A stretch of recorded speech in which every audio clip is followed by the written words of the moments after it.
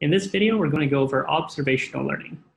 Observational learning is learning that occurs through the observation of others.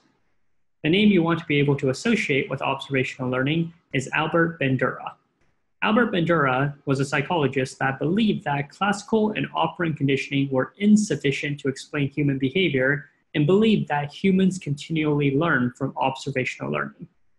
This does not mean that Albert Bandura believed that classical and operant conditioning were wrong, but simply that learning does not have to occur through classical and operant conditioning.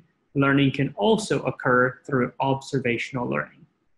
Albert Bandura is most famous for his Bobo doll experiments.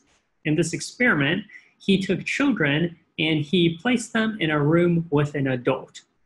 The children and the adult were on opposite sides of the room there were two situations where the adult would either act as an aggressive model or as a non aggressive model. In the aggressive model, the adult would verbally and physically attack a Bobo doll. In the non aggressive model, the adult would play with toys aside from the Bobo doll, essentially ignoring the Bobo doll.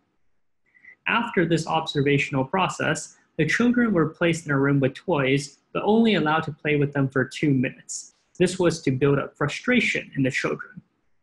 Next, the children were allowed to play in the experimental room with the Bobo doll.